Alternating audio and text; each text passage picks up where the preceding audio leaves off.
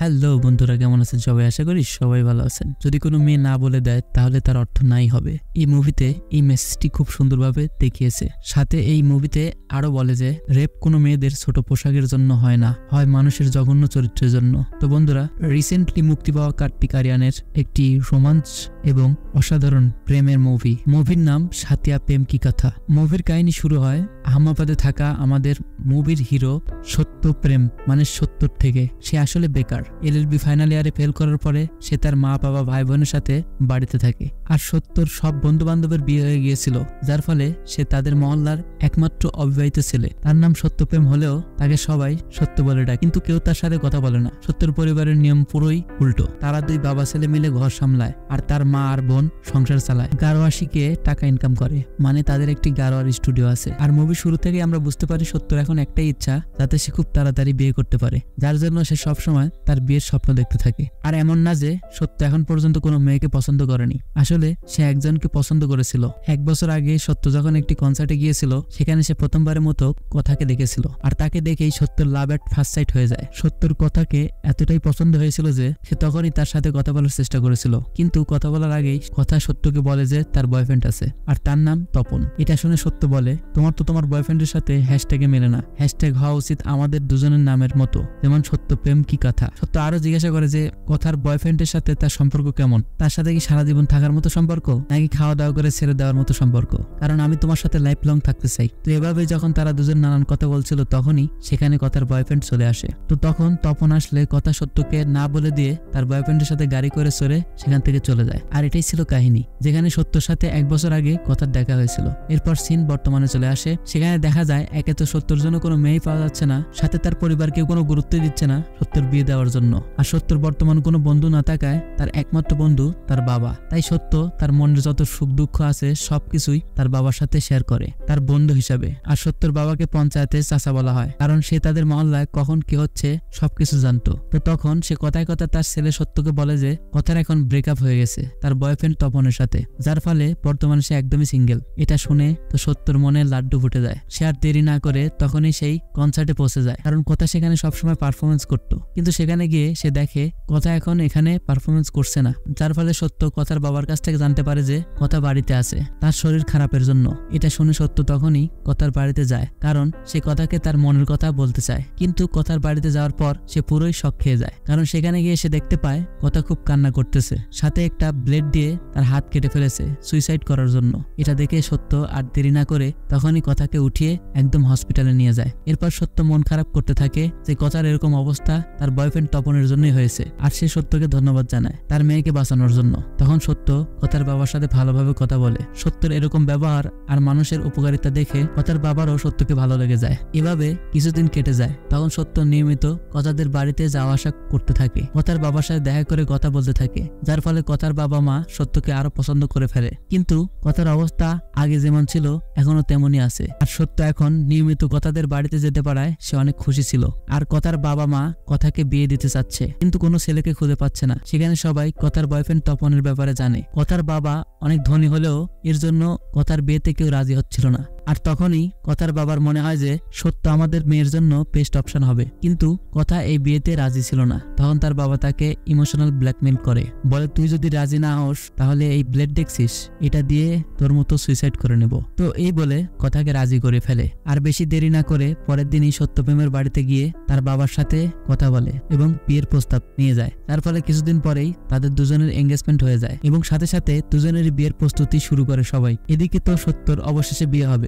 এর জন্য সে খুব খুশি ছিল। কিন্তু অন্যদিকে কথা একদমই খুশি ছিল না, কারণ তার ইচ্ছেতে এই বিয়ে হচ্ছিল না। সে তো তার বাবার ইমোশনাল ব্ল্যাকমেলের কারণে বিয়েতে রাজি ছিল, তাই সত্যকে বিয়ে করার ইচ্ছে তার একদমই ছিল না। কিন্তু সত্য যাই হোক না কেন খুশিতে পাগল হয়ে গিয়েছিল, কারণ এগে তো তার অবশেষে বিয়ে হচ্ছে, সাথে তার পছন্দের মানুষের সাথেই বিয়েটা হচ্ছে, আর অবশেষে তাদের দুজনের বিয়ে হয়ে যায়। আর এর পরের শ্রেণি আমরা দেখতে পাই, তাদের দুজনের ফার্স্ট নাইট আর সত্যর কোনো পার্সোনাল রুম না থাকায় সত্যর বাসর রাত তার মা তার স্টুডেন্টদের রুমে করায়। করায় যেখানে এসিও ছিল। আর তখন সত্য কথাকে বলে যে, সে এখন পর্যন্ত ভার্জিন সে আজ পর্যন্ত কোনো মেয়েকে টাচ করেনি। কোনো মেয়ের সাথে সে কখনো প্রেমের সম্পর্কেও জড়ায়নি। এবং আরও বলে যে, টাকা দিয়ে যে কোনো মেয়ের সাথে কিছু করব, সেই সাহসও কোনোদিন পাইনি। আর সাহস পেলে কি হবে? টাকাও কোনোদিন ছিল না। যাই হোক, কথাটি আমার মজা লেগেছে খুব। কথা বুঝে যায় সত্য কি বলতে চাচ্ছে আর কি করতে চাচ্ছে। তখন সে সত্যকে বলে যে, সে আজকে অনেক ক্লান্ত। তাই সে আজকে ঘুমাতে চায় এখন। আর সে ঘুমিয়ে পড়ে। এর কিছুক্ষণ পরেই তারা দুজনেই ঘুমিয়ে পড়ে। কিন্তু মাঝরাত হলে সত্য তার নাক ডাকা শুরু করে দেয়, যেটা তার নিয়মিত অভ্যাস ছিল। কিন্তু কথার সত্যর নাক ডাকার জন্য ঘুম আসতেছিল না। তো তখন সত্যকে বলে, তুমি বাইরে গিয়ে সও তখন সত্য বাধ্য হয়ে তার বাবার কাছে ঘুমাতে যায়, আর এইভাবেই অনেকদিন কেটে যায়। প্রতি রাতেই কথা বলে, তোমার নাক ডাকছে? তখন সত্য বাইরে যায়। আর এদিকে সত্যর নাক ডাকাও বন্ধ হচ্ছিল না। আর যার কারণে সত্য এখন পর্যন্ত ফার্স্ট নাইট উপভোগ করতে পারেনি। কিন্তু একদিন সত্যর অনেক জিত চেপে যায়। এর জন্য সে চায় কথার সাথে ফিজিক্যাল রিলেশন করতে, যার ফলে সে কথার কাছে যেতে চায়। আর তখন কথা সত্যকে এমন একটি সত্য কথা বলে যে, যেটা শুনে সত্যর চোখে জল এসে পড়ে। কথা বলে যে, সে এ সেক্সুয়াল। এর মানে যে তার কোনোদিন সেক্স করার ইচ্ছা জাগে না। এর সাথে কথা আরও বলে যে, এই কারণেই তার বয়ফ্রেন্ড তপন তাকে ছেড়ে চলে গিয়েছে। এসব কিছু শুনে সত্যর অনেক খারাপ লাগে। যার জন্য পরের দিন সে কথার বাবার সাথে দেখা করে। আর সেখানে গিয়ে কথার বাবাকে এসব কিছু খুলে বলে। এসব শুনে কথার বাবা বলে, সত্য হতে পারে, কথা তোমার সাথে মিথ্যা কথা বলছে। অতএব কথার বাবা সত্যকে আরও বোঝাতে থাকে যে, কথা আত্মহত্যা করতে গিয়েছিল। তাহলে বুঝো তার মন মানসিকতা এখন কেমন। সাথে আরও বলে যে, কথাকে তোমার কমফোর্টেবল রাখতে হবে। তাহলে সে আস্তে আস্তে ঠিক হতে পারে। এই কথা শোনার পর সত্য নিয়মিত কথার খেয়াল রাখতে শুরু করে। তাকে কেয়ার করতে থাকে, কথাকে বোঝার চেষ্টা করতে থাকে। কথার সাথে সত্য বন্ধুর মতো আচরণ করতে থাকে এবং অনেক সময় কাটাতে থাকে। অনেক কথা বলতে থাকে। তোর মাথায় যা আসে, তাই সে তাকে বলতে থাকে। কোনো চিন্তা ভাবনা না করে তার কথা বলার অভ্যাস।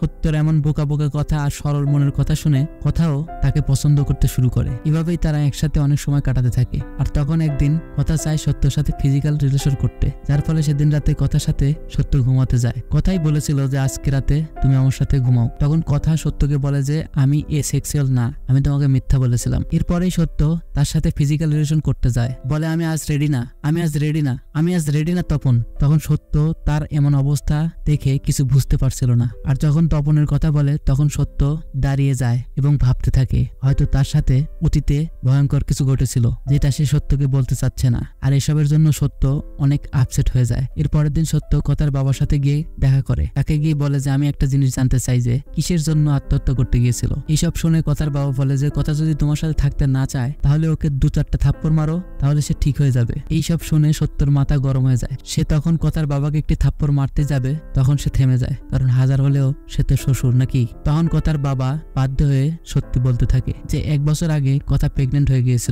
মানে তপন কথাকে প্রেগনেন্ট করে দিয়েছিল আর সেই বাচ্চার দায়িত্ব নিতে চায়নি, যার ফলে বাধ্য হয়ে কথার অ্যাবর্শন করতে হয়েছিল আর এই জন্য কথা সুইসাইড করতে চেয়েছিল। কিন্তু কথার বাবা যে কথাগুলো বলেছে সেখানেও সম্পূর্ণ সত্যটা ছিল না। কারণ কথা যেভাবে কান্না করছিল, তাতে মনে হচ্ছে ঘটনা আরও বড় কিছু, যার জন্য সত্য দৌড়ে তপনের অফিসে যায় আর সেখানে গিয়ে তপনকে মারতে থাকে। সবাই সত্যকে আটকানোর চেষ্টা করলেও আটকাতে পারছিল না। সত্য অনেক পিটায় তপনকে, যার জন্য তখন পুলিশ এসে সত্যকে ধরে নিয়ে যায় আর সন্ধ্যার সময় তার বাবা তাকে ছাড়িয়ে নেয়। এরপর জেল থেকে ছাড়া পেয়ে সত্য তার বাড়িতে কথার কাছে যায়। তখন কথা কান্না করতে করতে তার সাথে ঘটেছে সবকিছু সত্যকে বলতে থাকে। বলে যে তপনের সাথে একদিন আমি ডেটে গিয়েছিলাম। সেখানে তার সাথে রেপ হয়েছিল আর এই রেপ তপন করেছিল। কথা অনেক না করা সত্ত্বেও তপন তাকে জোর করে ধর্ষণ করে, যার ফলে কথা প্রেগনেন্ট হয়ে গিয়েছিল। আর এই প্রেগনেন্টের কথা সে পরিবারকে বলতে চায়নি। সে লুকিয়ে অ্যাবর্শন করে ফেলেছিল। কিন্তু যে ডক্টর অ্যাবর্শন করিয়েছিল, সে ছিল কথার বাবার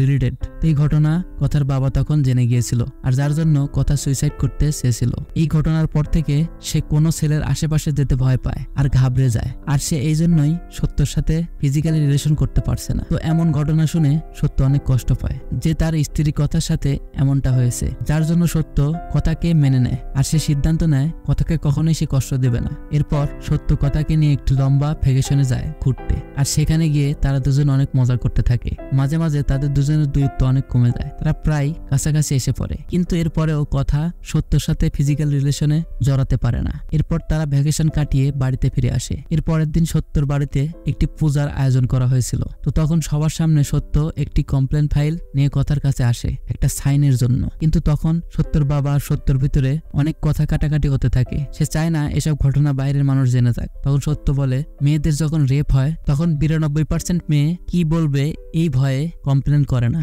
যে এটা করলে মানুষ জেনে যাবে আর তাদের চরিত্র সম্পর্কে বাজে কথা বলবে। আর এই ভয়ের কারণেই তারা তাদের ন্যায় বিচার পায় না। আর এই জন্য তারা সারা জীবন ভুগতে থাকে। যার ফলে আজকে যদি কথা এই কমপ্লেন না করে, তাহলে সে সারা জীবন এর গিলটি ফিল করতে থাকবে। এবং সে ভাবতে থাকবে সে অপরাধীকে শাস্তি দেওয়ার চেষ্টাও করেনি। এসব শুনে কথা সেই কমপ্লেন ফাইলে সাইন করে দেয়। আর সত্যকে বলে যে তার সুইসাইড করার সাহস ছিল। কিন্তু এই কমপ্লেন ফাইলে সাইন করার সাহস ছিল না। কিন্তু আজকে সত্যর এই সাপোর্টের জন্য সেই সাহস পেয়েছে, যার ফলে সে কমপ্লেন ফাইলে সাইন করে দিয়েছে। আর এর ফলে কিছুদিন পরেই তপনের নামে অ্যারেস্ট ওয়ারেন্ট জারি হয় আর তাকে রেপ কেসে গ্রেপ্তার করে কঠিন শাস্তি দেওয়া হয়। আর এরপর কথা সত্য নিজেদের হ্যাপি জীবন পার করতে থাকে। আর এর মাধ্যমে আমাদের আজকের সিনেমাটি শেষ হয়ে যায়। তো বন্ধুরা, সিনেমাটি কেমন লাগল? যদি ভালো লেগে থাকে অবশ্যই সাবস্ক্রাইব করবেন, পাশে থাকা বেল আইকন প্রেস করবেন আর লাইক করবেন শেয়ার করবেন এবং একটি কমেন্ট করে জানিয়ে দেবেন। ধন্যবাদ, ভালো থাকবেন।